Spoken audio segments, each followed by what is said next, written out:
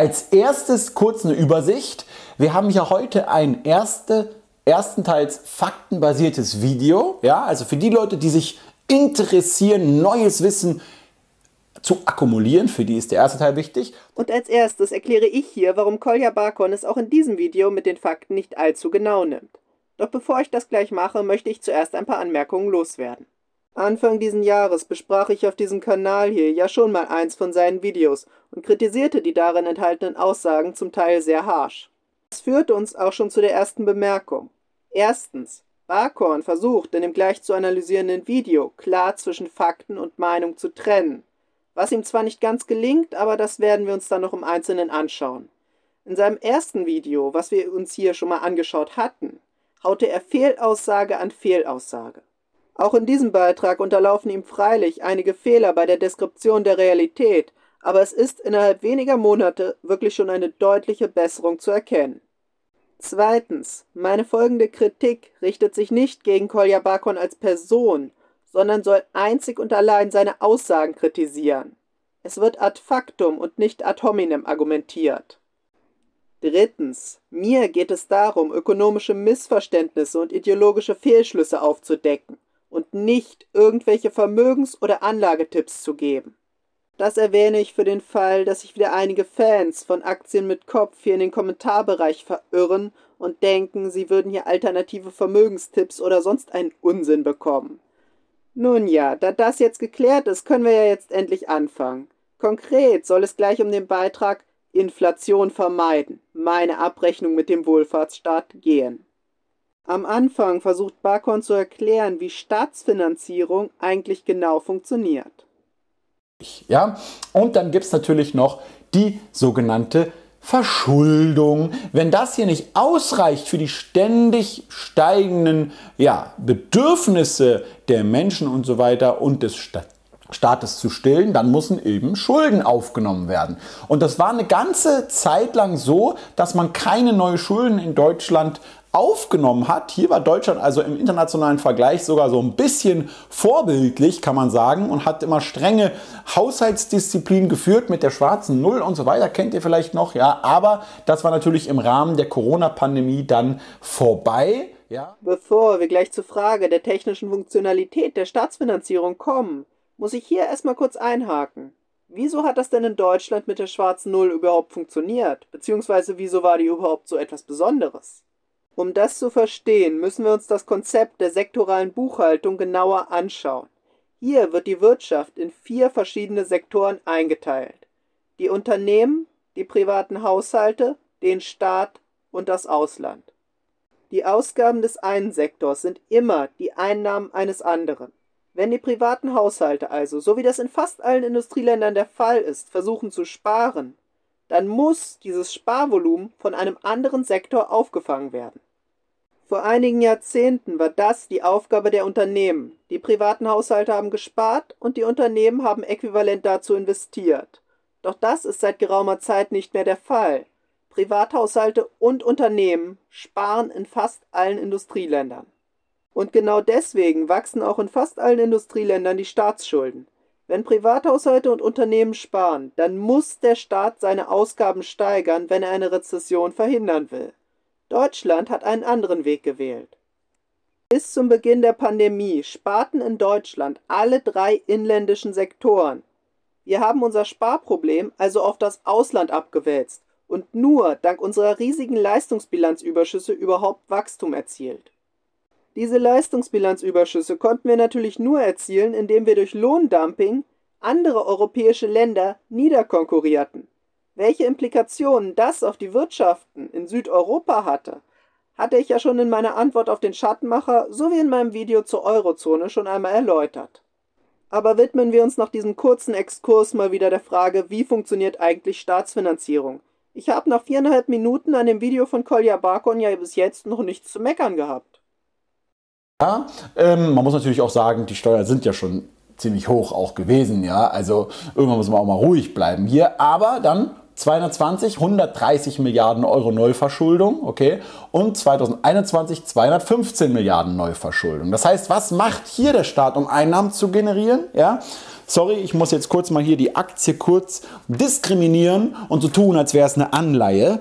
Der Staat gibt euch Anleihen aus, wenn ihr sie kaufen wollt, ja, und sagt, pass mal auf, hier, du kriegst Anleihen äh, von mir, ich gebe die aus und du gibst mir dafür dein Geld. Und du kriegst dann immer so Zinskupons und kriegst das irgendwann wieder zurück, das Geld, was du mir leist. Und das ist, wenn man es ganz genau nimmt, falsch. Der Staat verkauft auf dem Primärmarkt seine Anleihen nämlich nicht an private Geldgeber, sondern nur an Banken. Das ist deshalb relevant, weil Banken keine Ersparnisse nutzen, um Staatsanleihen zu kaufen, sondern Zentralbankgeld, was in ihren Bilanzen liegt. Und auf dieses Geld, jedenfalls auf die Überschüsse, die über der Mindestreserve liegen, müssten Banken bei der EZB im Moment einen Negativzins von minus 0,5% bezahlen. Das ist auch der Grund, warum sie sich mit Negativzinsen auf Staatsanleihen überhaupt zufrieden geben. Wenn sie das Geld so in ihrer Bilanz halten würden, dann müssten sie noch höhere Negativzinsen zahlen. Für die Versorgung der Banken mit genug Zentralbankgeld durch Anleihekäufe oder durch Kreditprogramme ist übrigens die EZB zuständig. Sie sorgt dafür, dass die Banken immer genug Zentralbankgeld haben, um Staatsanleihen kaufen zu können. Und das ist der Punkt, der hier wichtig ist. Staaten, auch die Staaten der Eurozone, sind nicht auf die Ersparnisse ihrer Bürger zur Finanzierung ihrer Aufgaben angewiesen. Aber Moment mal, werden jetzt einige rufen. Privatanleger können doch auch Staatsanleihen kaufen. Und ja, das stimmt. Aber Privatanleger kaufen diese Anleihen immer von einer Bank an der Versteigerung auf dem Primärmarkt dürfen nämlich nur bestimmte Banken teilnehmen. Am Handel auf dem Sekundärmarkt sind mehr Akteure zugelassen.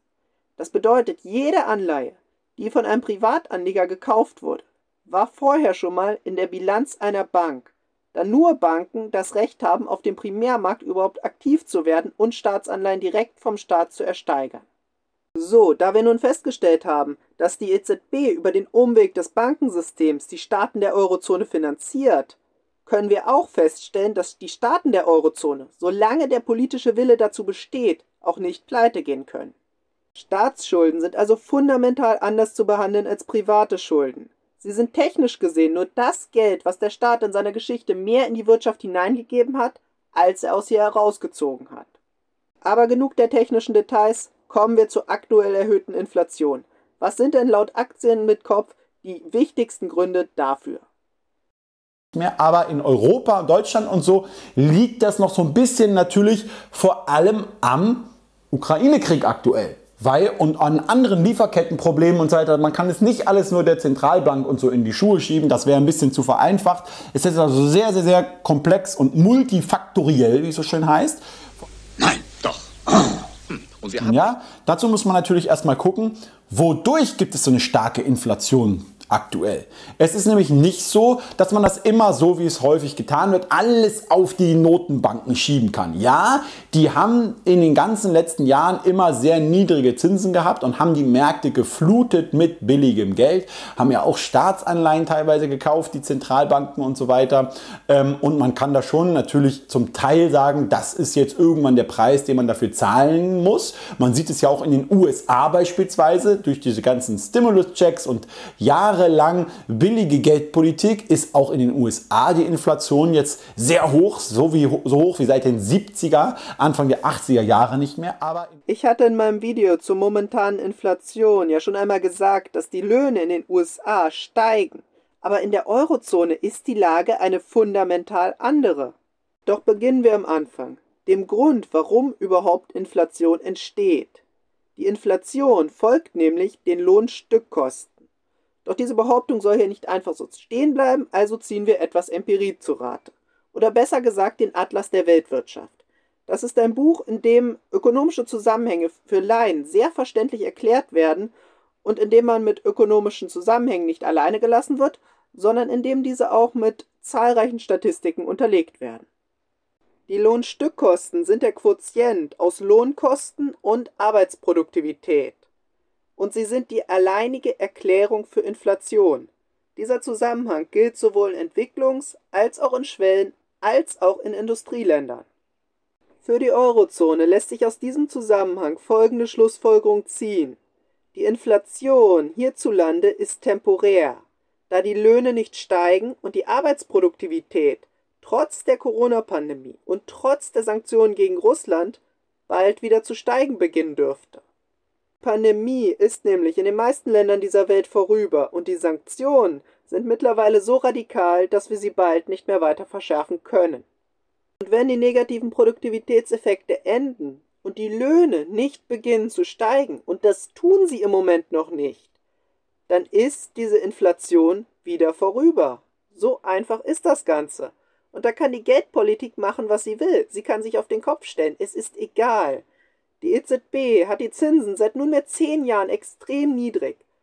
Und fast durchgängig wurde das Inflationsziel in der Eurozone unterschritten. Jetzt sind wir einmal kurzzeitig wegen zwei negativen Produktivitätsschocks über diesem Ziel. Aber es ist wirklich kein Grund da, warum diese Inflation dauerhaft sein sollte. Es ändert natürlich nichts daran, dass die aktuellen Preissteigerungen für viele Menschen reale Einkommensverluste bedeuten, aber daran kann die EZB wenig ändern.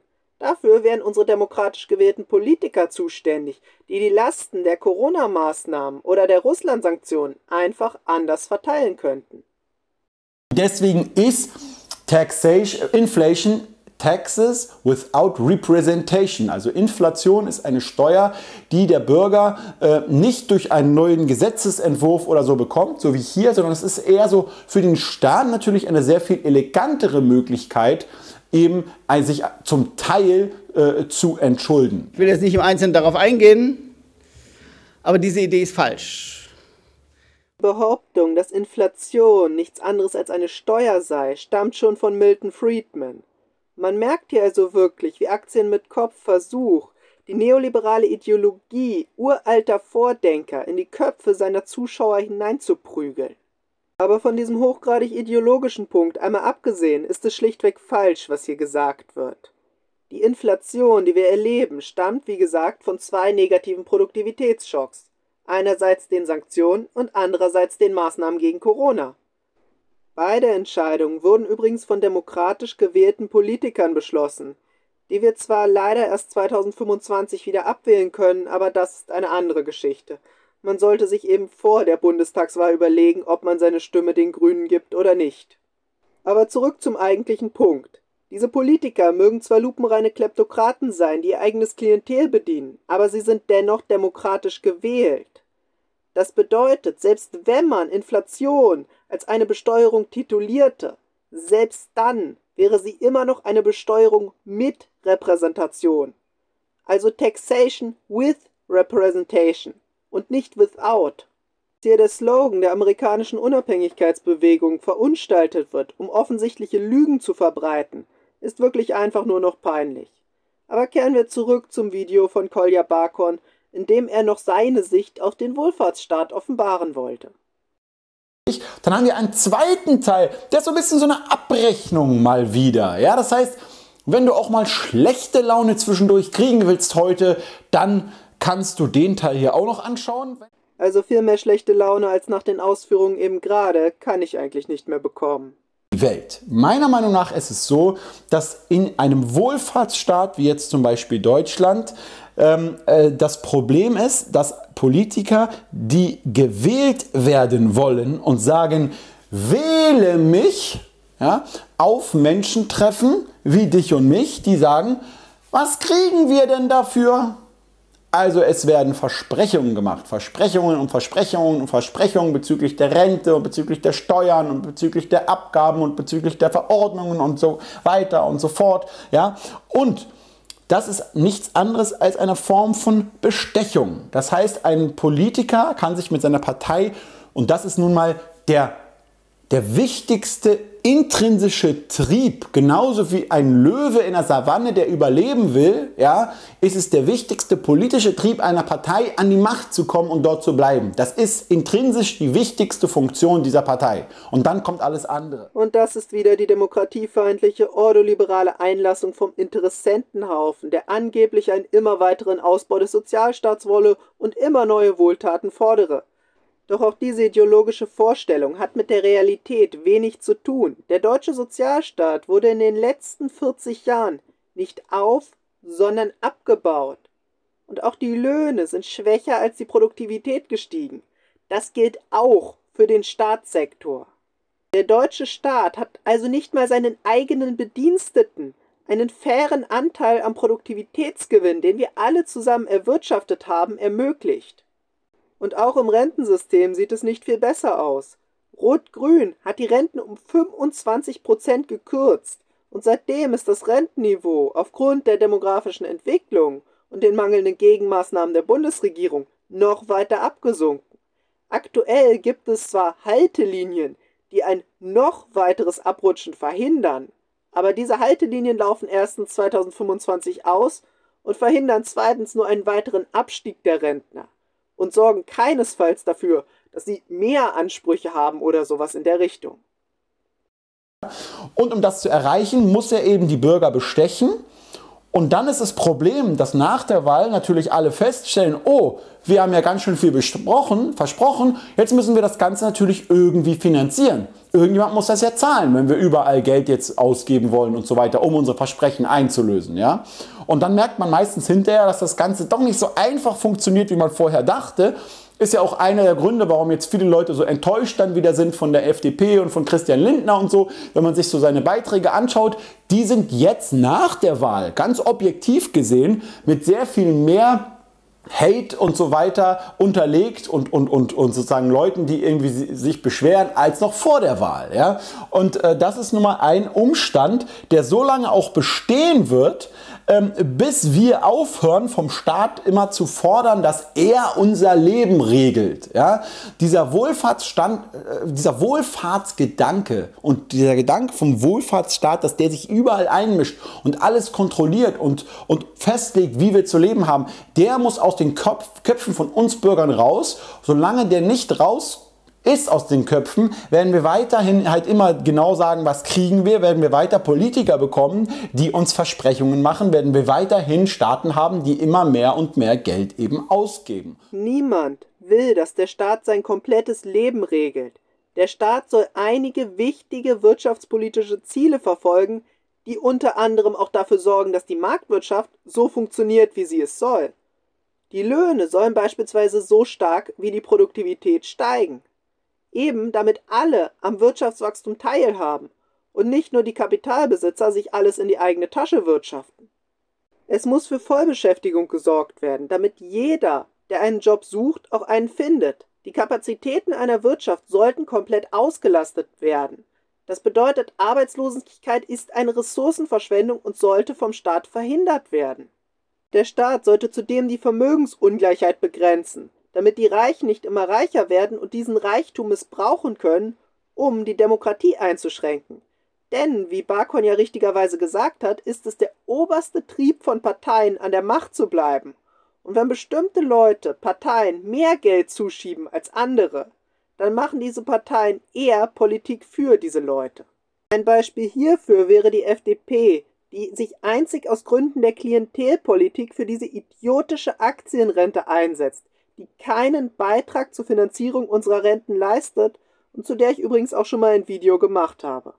Ein weiteres Beispiel ist die Steigerung der Verteidigungsausgaben, die sehr eindrücklich zeigen, dass die Bemühungen der Rüstungslobby und die Spenden, die sie an alle großen Parteien geleistet hat, sich aktuell bezahlt machen geben. Und das eigentliche Problem ist nicht die Inflation, das eigentliche Problem ist, dass beim Staat, ähm, das liegt nicht daran, dass die Politiker an sich für sich genommen irgendwie dümmere Menschen oder so sind, ja, ähm, sondern dass sie einfach einen Großteil des Geldes von anderen Menschen ausgeben für andere Menschen. Ja?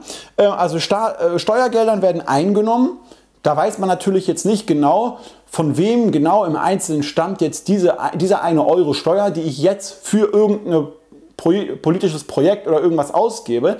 Aber die Verwendung dieser Mittel ist von den Anreizen her viel ineffizienter als wenn man sein eigenes Geld für sich selbst ausgibt. Deswegen ist, ist jemand wie ich sehr, ein sehr starker Verfechter von freier Marktwirtschaft und dass möglichst viel privat gemacht wird, auch private Autobahnen und so weiter, dass nur die Leute dafür zahlen, die das Ganze eben auch nutzen, weil so viel, viel effizienter investiert wird, weil der Mensch einfach so gestrickt ist, besser Acht zu geben auf das, was ihm selber gehört. Ja? Jeder pflegt seinen eigenen Garten besser als einen öffentlichen Park. Und jeder geht mit seinem eigenen Auto besser um als mit einem Mietauto. Ja, ja ich weiß, ihr natürlich nicht, aber die meisten anderen Menschen sind nun mal so. Nehmen wir mal das Beispiel mit den Autobahnen. Was würde passieren, wenn man diese komplett privatisieren würde? Dann hätten einzelne Anbieter Monopole auf einzelne Strecken. Nehmen wir also an, dass es zwischen zwei Städten eine Autobahn gibt und diese Autobahn auch genau einem Anbieter gehört. Dieser Anbieter hätte nun keine Konkurrenz zu fürchten und könnte seine Gewinnmarge ausweiten. Er würde vielleicht nicht ineffizienter wirtschaften als die öffentliche Hand, aber alle, die diese Autobahn nutzen wollen, müssten dann seine überhöhte Gewinnmarge zahlen, da er halt ein natürliches Monopol hat. Es würde sich nicht lohnen, zwei Autobahnen zwischen zwei Städten zu bauen. Eine Strecke reicht ja völlig aus. Und genau deshalb muss der Staat in solchen Fällen eingreifen. Entweder durch Regulierungen oder halt, indem er die Infrastruktur gleich selbst zur Verfügung stellt. Dort, wo es natürliche Monopole gibt, ist der freie Markt der falsche Ansprechpartner. Schlicht und ergreifend, weil jedes private Unternehmen versucht, seine Profite zu steigern und so die Gewinnmarge versucht ins Unermessliche zu treiben, indem es seine Marktmacht ausnutzt. Der Markt kann nur da zu effizienten Ergebnissen führen, wo es auch wirklich Wettbewerb geben kann. Bei natürlichen Monopolen ist das nicht der Fall und deshalb muss der Staat in solchen Fällen wie bei der Wasserversorgung, wie beim Straßensystem, wie bei der Eisenbahn auch eingreifen. Ja, weil viele reden jetzt schon von Lastenausgleich und von erhöhten Vermögenssteuern und so weiter und die Reichen müssen mehr beitragen und bla bla bla. Aber das eigentliche Problem sind immer die Staatsausgaben. Guck. Ich bin ja am Anfang dieses Videos schon einmal auf die Saldenmechanik eingegangen. Wenn die anderen drei Sektoren sparen, dann muss der Staat sogar seine Ausgaben ausweiten. Schlicht und ergreifend, um eine Rezession zu verhindern. Anders geht es nicht. Zudem geht es nicht nur einfach darum, dass Reiche ihren Beitrag leisten sollen, sondern es geht darum, dass die grundsätzlichen Funktionen von Steuern erfüllt werden. Doch welche Funktionen sind dies? Gucken wir uns das jetzt einzeln erstmal an. Erstens, Steuern schaffen eine Nachfrage nach der Währung und sorgen für deren Akzeptanz. Zweitens, Steuern steuern die Inflation, indem sie die Nachfrage senken. Drittens, Steuern begrenzen die Vermögensungleichheit. Und viertens, Steuern setzen einen Anreiz zu einem bestimmten Verhalten. Das ist beispielsweise bei der CO2-Steuer der Fall. Die Funktion, die Nachfrage nach einer Währung zu schaffen, ist de facto bei jeder Steuer gegeben. Die Inflation lässt sich mit einer Vermögenssteuer nicht sonderlich gut kontrollieren, da das Vermögen, was dort besteuert wird, normalerweise nicht nachfragewirksam wird, da Reiche eine viel zu hohe Sparquote haben. Eine Vermögenssteuer, die vernünftig gestaltet wird, reduziert logischerweise die Vermögensungleichheit. Einen Anreiz zu einer bestimmten Verhaltensänderung setzt eine Vermögensteuer nicht, aber sie sorgt dafür, dass die Reichen weniger Geld haben. Und dann können sie weniger korrumpieren, weniger lobbyieren und weniger spekulieren. Das waren auf jeden Fall die wesentlichen Funktionen von Steuern und die Anwendung auf die Vermögensteuer im Schnelldurchlauf. Und das war's auch eigentlich schon mit meiner Kritik an Kolja Barkon, der in diesem Video wesentlich besser auftritt als in dem letzten, was ich mir angeschaut hatte. Er versucht seine Punkte halt wesentlich sachlicher und wesentlich subtiler rüberzubringen. Aber die ideologische Stoßrichtung ist, wie wir deutlich gemerkt haben, immer noch die gleiche. In diesem Sinne übergebe ich das Schlusswort an Aktien mit Kopf. Aber jetzt genug dieser ganzen Schelte, genug mit hier äh, dem, der kleinen Abrechnung. Solange das so bleiben wird, solange wir also Sklaven des Staates sein wollen, werden wir weiterhin uns äh, Versprechungen machen lassen ja, vom Wohlfahrtsstaat. Wir werden weiterhin abhängig davon sein und wir werden weiterhin genau diese Politik kriegen, die wir wählen. Ja. Äh, sonst wird sich das nicht ändern. Ja.